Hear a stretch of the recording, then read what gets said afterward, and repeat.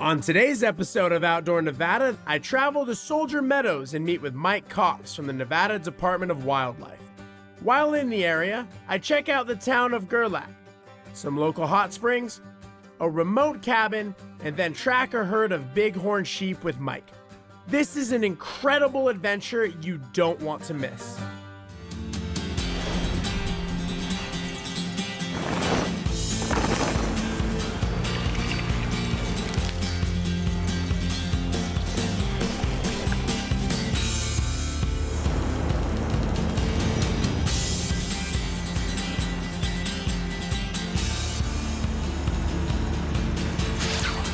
I'm Connor Fields, your new host for my favorite show, Outdoor Nevada.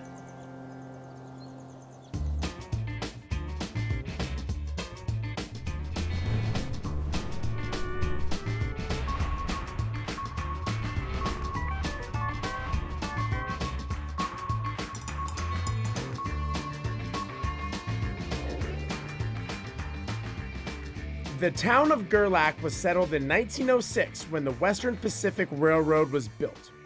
It was named for Gerlach Land and Livestock Company from the Gerlach and Waltz Ranch owned by Louis Gerlach. At its peak in the 1950s, the population totaled over 1,000 residents. Gerlach was home to two restaurants, five bars, two motels, and a handful of other small businesses. In 2011, the nearby U.S. gypsum mine in Empire, Nevada closed, and the population declined to roughly 100 year round residents, and that is where it stands today. The town has a rich history intertwined with the region's unique landscape and cultural heritage. However, Gerlach gained widespread recognition as the gateway to the iconic Burning Man Festival drawing thousands and thousands of artists, adventurers, and seekers of alternative culture every year. Gerlach holds a prominent place in Nevada's cultural tapestry. Beyond its association with Burning Man, the town has retained its frontier charm, with historic buildings lining its dusty streets and a resilient community. The surrounding Black Rock Desert, with its stark beauty, expansive vistas, continues to shape the identity of Gerlach and its inhabitants, offering a haven for outdoor enthusiasts and a backdrop for artistic expression.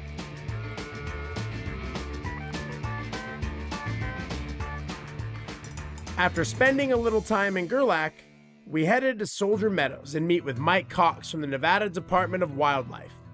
Before I left Gerlach, I reached out to Mike and left him a message about where we were headed. The road was paved and beautiful. That is, till you turn off the paved road. Then it's 50 plus miles of dirt. Rough dirt. With nothing but nothing around you. Nothing. And when I say nothing, I mean nothing. The drive to Soldier Meadows it took almost three hours. This is not a drive for a standard vehicle. You'll need something with aggressive tires and plenty of fuel. When this adventure started, the plan was pretty simple. We head north to a place called Soldier Meadows and meet up with Mike Cox from the Nevada Department of Wildlife. From there, we would hike out into the wilderness and track a herd of bighorn sheep. That was the plan. Well, as they say, the best laid plans of mice and men often go awry. And that is what happened. Our plans went awry. Or should I say, our cell phone reception went away. But we made the best of it. Soldier Meadows is a remote and pristine destination steeped in history and natural wonder. Named after an incident involving a skirmish between soldiers and Native Americans in the mid 19th century, Soldier Meadows boasts a rich heritage shaped by the interactions of indigenous peoples, explorers, and pioneers. We kept an eye for Mike as we drove, and drove, and drove, and drove. No sign of Mike. So it was time to set up camp. Then, off in the distance, sat a little structure. It looked like nothing, but I was pretty sure I knew what it was. I read about it a cabin. And sure enough, it was a cabin the Soldier Meadows Public Cabin.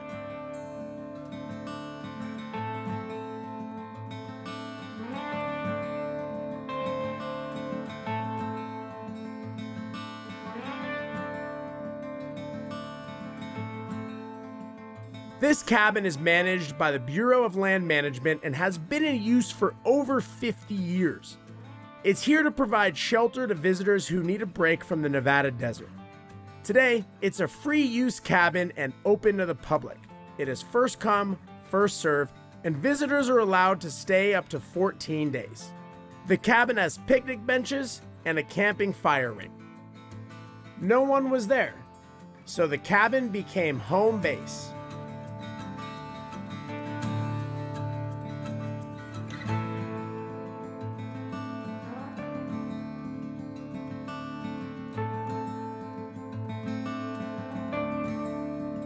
The sun was starting to set, and it was beautiful. I also knew that it would be dark real soon. And by dark, I mean dark.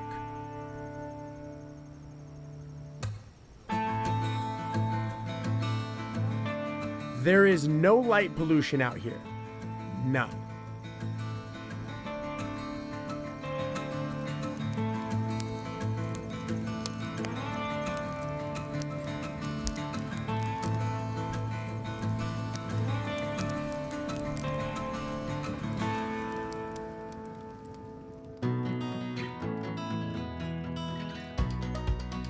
The sun came up early and it was time to get the day started.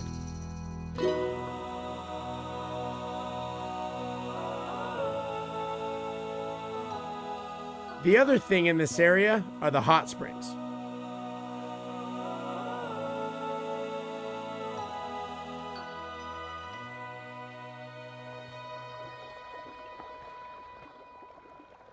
We are here in Soldier Meadows on the edge of the Black Rock Desert, 61 miles from Gerlach. And this is the Soldier Meadows Hot Springs. The hot springs are warmed by geothermal activity going on deep beneath the Earth's surface. And I would say that that water is at least 100 degrees. You can see it bubbling up from right here, and then it flows downward and the stream goes on pretty far. And in the morning, you can see the steam rising from this from miles away. The hot springs scattered throughout the Black Rock Desert offer a soothing oasis amidst the stark beauty of the desert landscape. These natural geothermal wonders provide a welcome respite for travelers exploring the expansive playa and surrounding volcanic terrain. Whether nestled within the remote canyons or bubbling up from the Earth's surface, each hot spring carries its own unique charm and therapeutic properties. Beyond their rejuvenating qualities, these hot springs serve as gathering spots for adventurers, providing a communal space to relax, unwind, and share stories beneath the vast expanse of the desert sky. As a cherished feature of the Black Rock Desert, these hot springs exemplify the harmonious intersection of nature's power and human appreciation, inviting visitors to immerse themselves in the timeless allure of Nevada's wild frontier. Sounds nice, but that was not happening right now. Mike showed up. He located a herd not far from here. We had to go. The road only took us so far. The rest of the way would have to be on foot. One of the sheep in this herd was collared with a radio transmitter, and Mike had a signal. I followed Mike we had to move with care and as quietly as possible. This went on for a while, a few miles.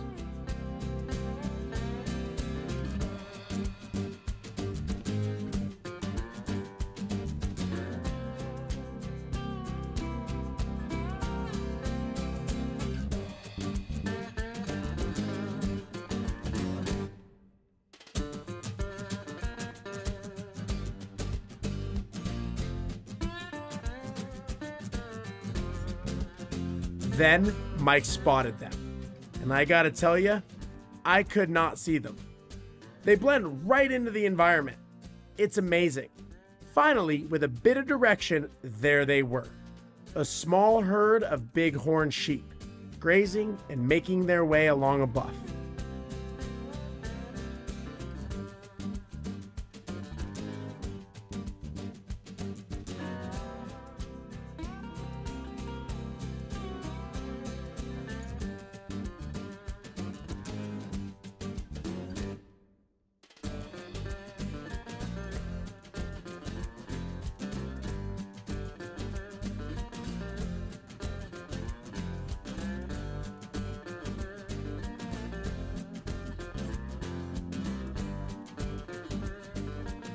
After watching them for a while, I sat down with Mike. What are some of the terms that I need to know when we're talking about these animals? Well, we've got um, terms for who's what. So the rams are the males. Uh, we typically only speak about rams when they're two years or older. And then we have ewes. E-W-E uh, are the females. And then the lambs are the babies versus like deer you have a buck doe and a fawn. Um, predation is when a predator like a mountain lion a coyote a bobcat uh, is killing a bighorn. That's predation. And we actually had bobcats that only weigh 40 pounds kill an adult ewe. Um, forage is the grasses, the flowers, and the shrubs that bighorn eat. Um, nursery groups, most people would know that. That's uh, the group of ewes and lambs that hang out together and they hang out together because with more eyes they can uh, be more successful uh, alerting the whole group if there is a predator, a mountain lion nearby. Helps avoid predation. Very good. Um, breeding the rut or the breeding season is when the ewes are bred by the rams. You know, when I caught up with you guys, we were what five miles north and I had left them and they had been feeding and they typically bed down midday. So I was hoping they would still be here. And of course we drove and uh, we were able to see them still feeding about the same spot they were. And uh, then we went on a little walkabout snuck up uh, where they couldn't see us. Yeah they're just doing their normal daily activities. Uh, they bed down sleep on a typically a nasty slope. They get up uh, sunrise and feed, and then they'll uh, bed down, and then they'll feed off and on during the day. So eat, sleep, eat, sleep. Yep. Sounds like they have a life. Yeah, but then, you know, it gets kind of rugged when a mountain lion's chasing them or a pack of coyotes. That's true. Uh, today we saw a bunch of female sheep. Yes. We didn't see any males. We didn't see any with the big horns. The big curled horns. The, the, the big, you know, what they're famous for. Right? Yeah, yeah. So why why is that that they don't hang out together, you know, with the rams and the ewes? How come they stay separated? Well, there's there's other species that are pretty similar that they um, the women and the kids are together, uh, or in our case, ewes and lambs, and uh, they call it's called a nursery group, and they're the, the ewes are taking care of and raising the kids. How does the historical data describe this ecosystem and the populations within the ecosystem? Well, historically, we did have bighorn here for thousands of years. Um, they actually survived past the Ice Age, where a lot of animals like the mastodon, woolly mammoth, they all died out, saber-toothed tiger. But come uh, the early 1900s, when this land was being settled by miners uh, ranchers, um, a lot of our sheep herds died out and entire populations were wiped out. And it was from primarily disease with domestic sheep that were brought here to feed mining camps and, and, and towns. And so um, that's historically what we know. And um, but this current ecosystem is still intact. It's still got great escape terrain, still got forage, good forage, still got springs dotted all over the place, and it's still good for bighorn sheep.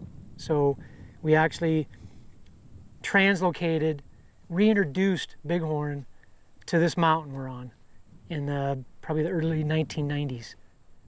Are the populations changing over time? Yes, this population actually was uh, more numerous than it was than it is today. Um, the droughts that we've had impacted the population.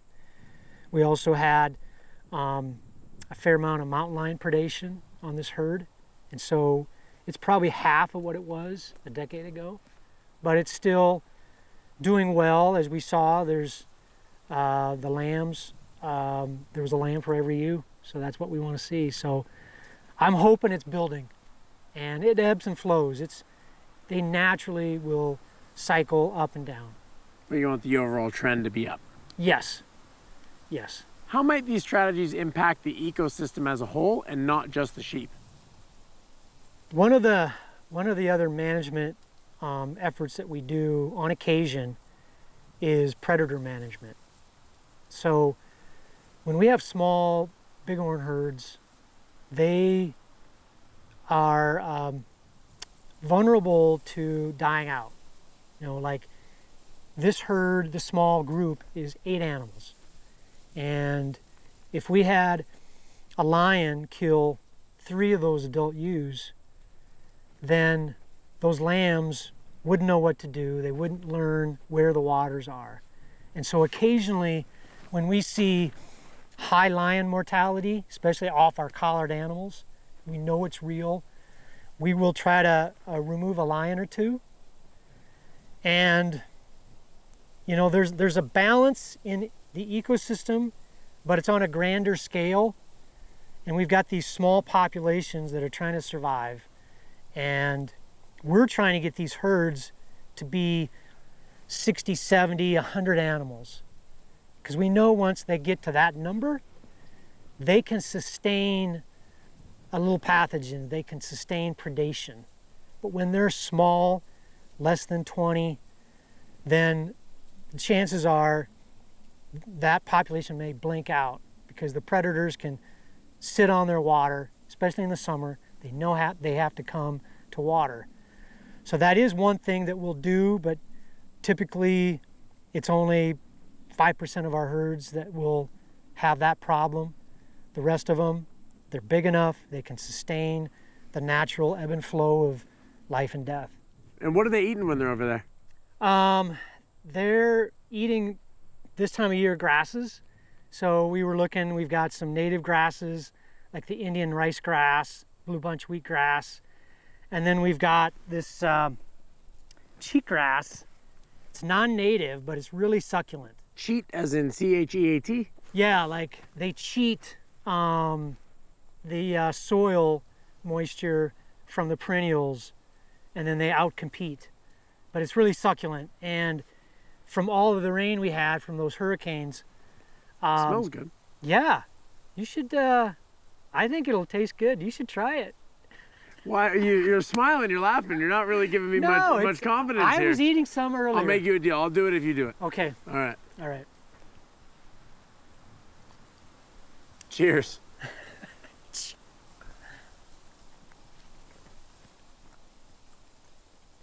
I'm gonna. Uh, I could see this in a salad. I'm gonna let the sheep keep eating this, and I'm gonna stick to human food.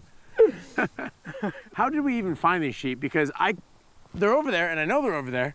We looked at them through the binoculars, through the site, but I can't see them.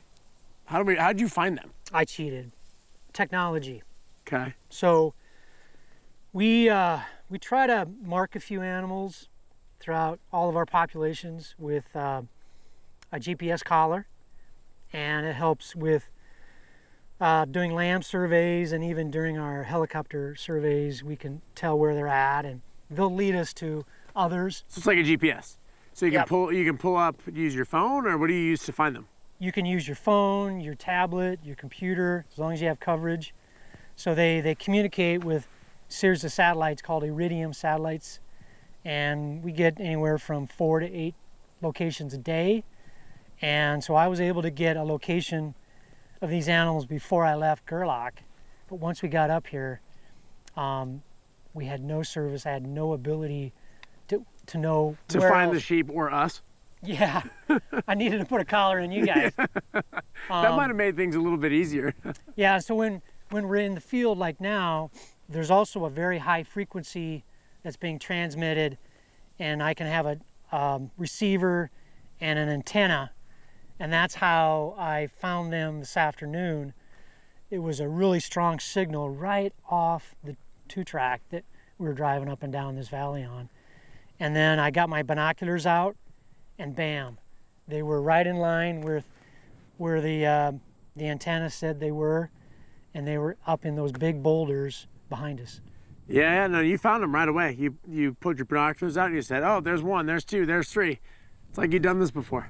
Yeah, yeah, I have. Um, I I don't get out in the field as much as I'd like, so it's always a treat to get out here.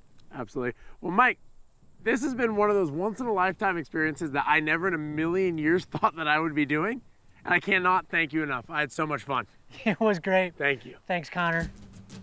It was time to head back to camp, back to the cabin, back to home base. I will say this driving through these ranges and seeing just how big and beautiful they are is a treat. The area's rolling hills, expansive meadows, and volcanic features provide a picturesque backdrop for outdoor enthusiasts, offering opportunities for hiking, wildlife viewing, and stargazing under some of the clearest night skies in the region. This part of Nevada is amazing. We were only supposed to spend a day here. It was a meetup point on the way to a different adventure. I'm not complaining. We only had to hike a few miles versus the alternative, which was an estimated 10 to 15 miles to the herd of sheep. I'm very happy they made their way closer to the road. That's the thing with adventures like this. You have to be prepared to adapt. The sheep do not care.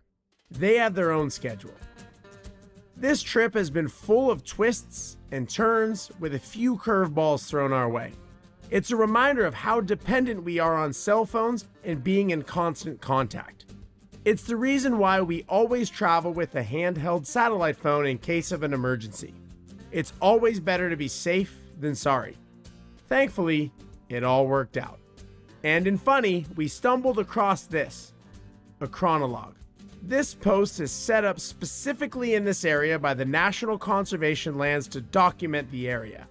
It's set up for a cell phone to be placed in a cradle and an image taken. Later, you upload the image for the public to see in a time lapse video.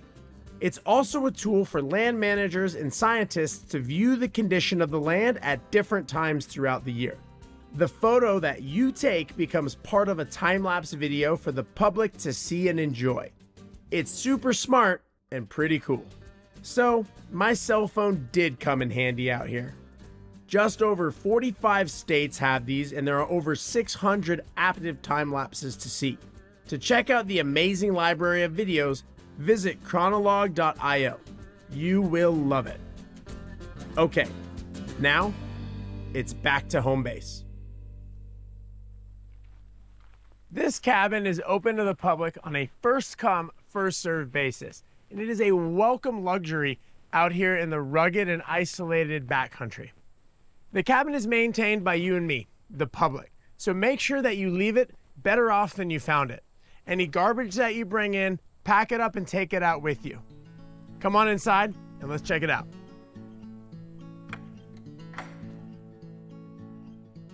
Pretty sizable in here. You fit a few people in here. There's a wood burning stove. I'm sure in those winter months when it gets cold out, that is nice to have. It's like a little workbench. Some people have left some food. If you do leave food, make sure you leave canned goods that won't spoil. Also have to remember that there's animals that call this area home and you don't want them to be able to get to the food. There's also a logbook where you can read about other people's experiences as well as leave your own and any recommendations that you might have.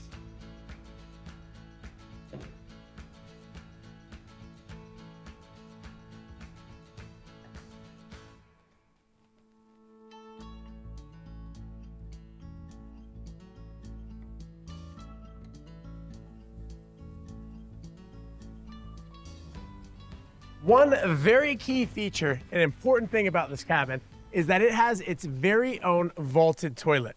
You have no idea how excited you are to see one of those when you haven't seen one in a while. If you do make the trip out here, make sure that you let somebody know where you're going, how long you'll be here, and when to expect you back, because it is extremely remote. But when you do make it out here, you have access to hot springs, hiking trails, and your very own personal cabin for a once in a lifetime experience that will not leave you disappointed. I'll see you next time on Outdoor Nevada.